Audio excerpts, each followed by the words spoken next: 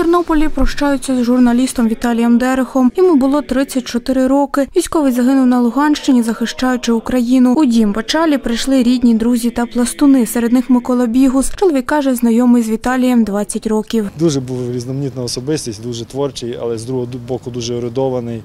Е, Він справді був обізнаним в дуже високотехнічних сферах. Там міг про щось з фізики чи з хімії говорити детально, так і з культури, з мистецтва, е, хоч був по освіті журналістом. Та? Тобто це надзвичайно рідкісні люди, які можуть бути в різних сферах достатньо компетентними. На Миколинецькому кладовищі над труною бійця розгортають синьо-жовтий стяг, ховають бійця на алеї героїв поруч з іншими військовими, які віддали життя за волю України. Віталій Дерех з 2009 року працював журналістом. Разом із ним працював Юрій Штопко.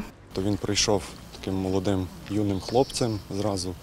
Е, Дуже добре зарекомендував себе як журналіст, виконував дуже різноманітні теми, завдання.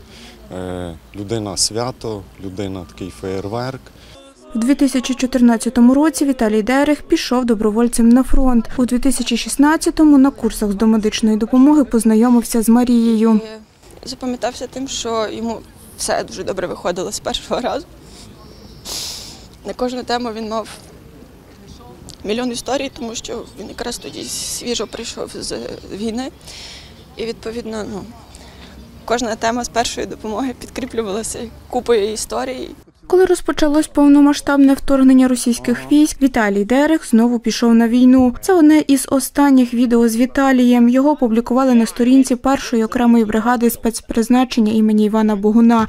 На ньому Віталій готується до ліквідації цілей. Леся Придоус, Андрій Рабада. Новини на Суспільному. Тернопіль.